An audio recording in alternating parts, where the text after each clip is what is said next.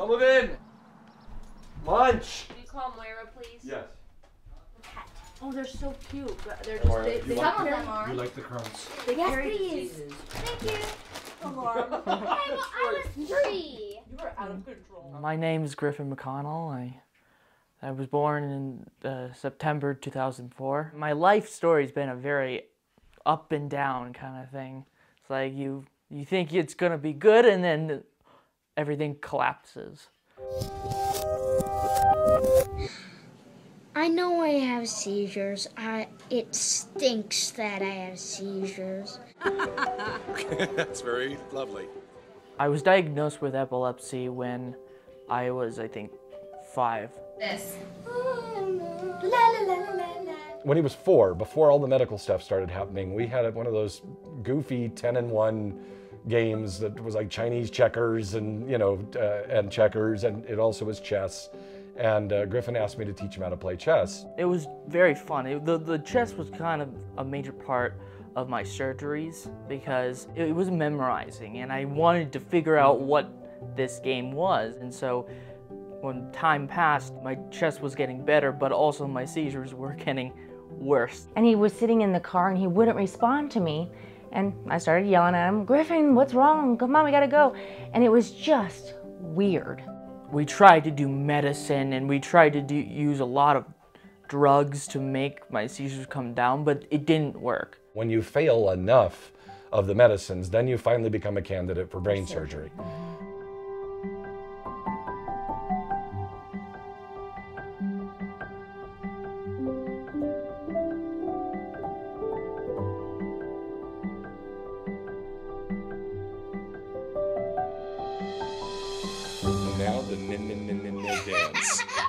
That's what you called it. Let's see it. Bring it.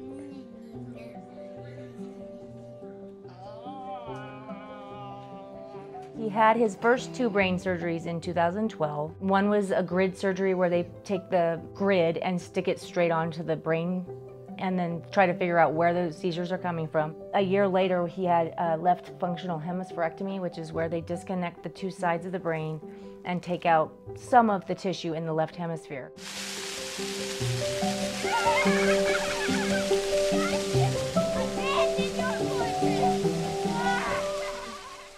Chess has played a huge role in this family.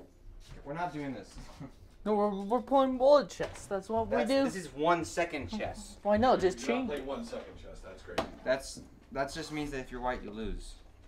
Chess is always a passion of mine. I've, I've done it a long time. And so after the left hemispherectomy, I started to regain my thinking and my abilities. Why am I moving so fast? Four second fans, Griffin.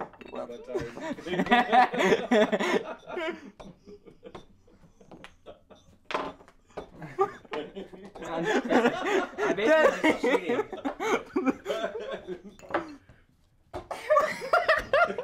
yes! No, you don't, you don't have any meeting material because I cheated.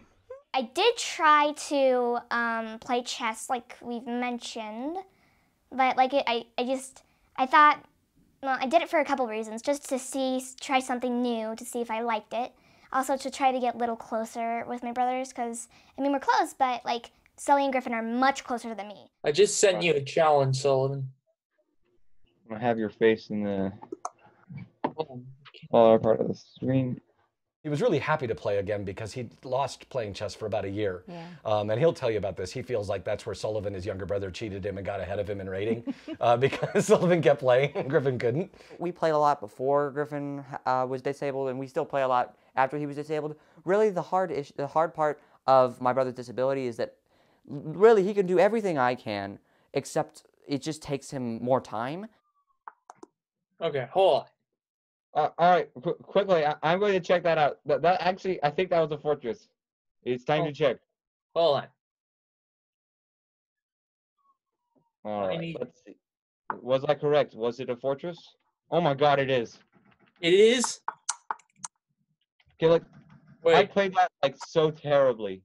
so how did I Like, block? after knight c2, I have I'm, I'm Okay, so I have to play I'm- I'm bishop crushing. e5. Griffin made expert when he was 12, and then he's just been stuck uh, on expert, which is uh, he's really pushing to make master. And part Um, of that, I think, is because he was also trying to learn how to read and write yeah. and do school. So trying to take all that brain power when you only have half of a brain to do all of that, I think, is partly why he hasn't gotten as fast. a big part of chess is everyone has an ego. And everyone, if they want to learn how to play chess, they have to know they, they're going to lose. honestly, you've got to give Nakamura a great deal of credit on chess.com uh, because, uh, and I'm not saying that to suck up to chess.com either, but God love them because they're doing these these new tournaments, these POG championships. Have you watched any of those? Oh, you should. They're- They're I awesome. even kinda think they're so, fun to so watch. th- they have non-chess players, but they're really great uh, at Fortnite, or they're really great, and they have a bunch of followers on another platform, and they they pair them with a Nakamura or a you know a high-rated player, and that player works with them for like 20, 30 days, you know, gets them to a 1200 level or, or something there, thereof. And then they have a championship where they play and Nakamura just does I don't commentary. understand why he made those moves so but it's, quick. isn't it what you said before, Ludwig, Yeah. about like this this cycle where it's like when you're when the other guy's moving fast, you move fast. When they're moving slow, Yeah. you move slower. It's The just rhythm. like You're feeling the, rhythm. And so, you know, you're just watching rank amateurs play chess, and it's hilarious because they miss easy checkmates. They blunder pieces right and left, but they're really serious about it. So, like the guy who played the Mountain on a Game of Thrones, uh, he's a chess player now. He was in the last Pog Championships. I mean, there's, I mean, there's something really enthralling about watching someone of his stature and size hunkered down, you know, making, you know, cussing because he missed a fork, you know, or whatever. Uh, okay, okay, okay. It didn't start well, uh, but it's going well now. He's taking the center. Uh, I'm just gonna castle. I'm just gonna castle here. Uh, I like that. I like that. I like castling. Yep. He does Bringing my pieces to the center. Uh, staying calm. He does this in our calm. lesson. He does this in our least lessons too. He's calm super way to say good. He's super good at giving you insight into exactly what he's thinking. Oh my god. Okay. At six o'clock on this Saturday, uh, you are going to have a interview with Hikaru Nakamura. An interview? Yes, he's going to Zoom. You're going to have a Zoom call just with Hikaru Nakamura. What? yes. That's a lot of pressure on me. I love Carl. I'm, I'm his biggest fan.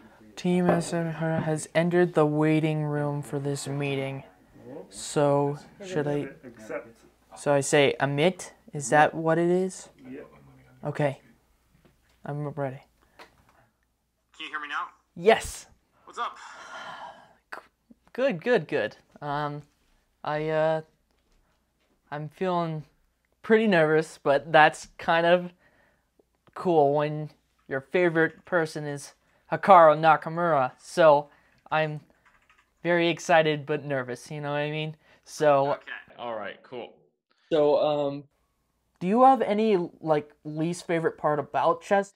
For a long time i feel like it's sort of been like we we we idolize these top players. We try to say how smart the top players are at the game of chess instead of just uh, instead of trying to be inclusive and saying well it's you know there might be people who are really good at it but anybody can play the game. You don't have to be smart to be good at it. But a lot of people sort of they, they figure well if you're if you're not a great chess player then who cares? Like you know it doesn't matter. So you start judging the self-worth or what someone what someone does based on their rating instead of just being a person Thank you very much, Hikaru. Um, no problem I'm just uh, it's exciting, you know what I mean? Yeah, no, that's. Well, which which Olympiad did you play in though? I'm kind of curious now. He played in the Olympiad, the online Olympiad, um, which was the very first ever online Olympiad for people with uh, dis- disabilities. Colorado is not big. It's not. It's not big for people with disabilities who play chess. Griffin had a tremendous tournament in spite of having seizures. Um, he was bored too, and he scored uh, uh, four out of seven points, which is every single person he played was at least 100, 150 to uh, 400 points higher rated than him. That was the point, um, where I wanted to be something to inspire.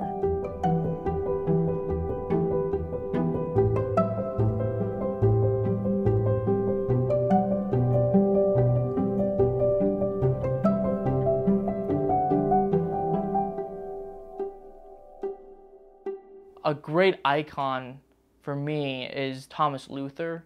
He's a grandmaster, but he has a disability. And he is trying to create all of these tournaments that I've been into. And so for me, I want to be like Thomas Luther. He went six years seizure free, we think, and now he's having seizures again. It was kind of heartbreaking because I was doing so many things, like wonderful things, and now it came back.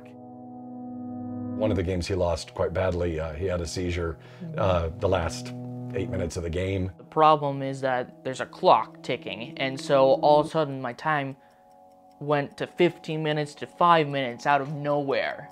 And so these seizures are really messing up my play.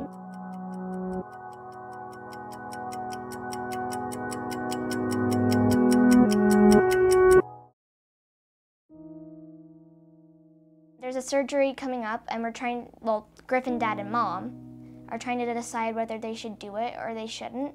He's going to go in for an anatomical hemispherectomy, which is they take everything out of that left hemisphere. My biggest fear, and I, I think Griffin's biggest fear, is that either he'll die in one, because that is always a possibility, or he has to have this brain surgery and it doesn't work. I think that's the more scary than even him passing away in the surgery, is that it doesn't work again. In my opinion, surgery is the only way that I can feel uh, like the seizures have been gone.